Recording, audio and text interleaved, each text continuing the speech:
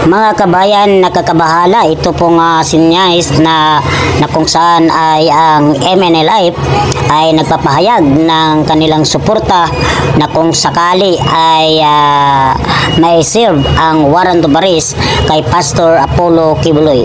Sabay-sabayan po natin na pakinggan at subaybayan ito po mga kaganapan at kung ikaw ay bago pa lang sa aking YouTube channel, huwag kalimutan mag-subscribe at pindutin ang notification bell para updated po tayo sa mga panibagong videos. Let's go!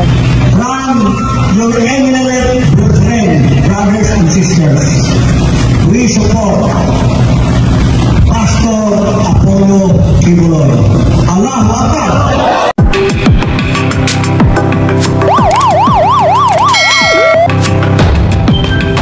Sa lain bayan ay hindi nag nagtubini na nagsalita ang isang chairman ng MNLF upang ipapahayag o iparating ang kanilang suporta kay Pastor Apollo Kibuloy. Walang pagdadalawang isip na inihayag ng mataas na leader ng Moro National Liberation Front na posibleng mag-udyok para magkaroon muli ng people power sa bansa ang pagpapaaresto kay Pastor Apollo C. Kibuloy. Si Franco Baranda para sa detalye ng balita. channel po natin.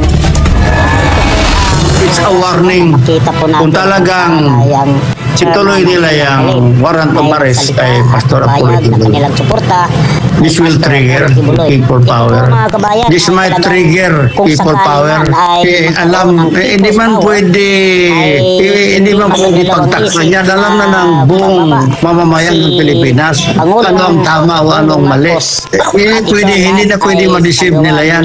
So, ako, ah, I'm praying uh, uh, magkaisa na ang taong bayan ng Pilipino. Magkaisa na. Ito ang naging pahay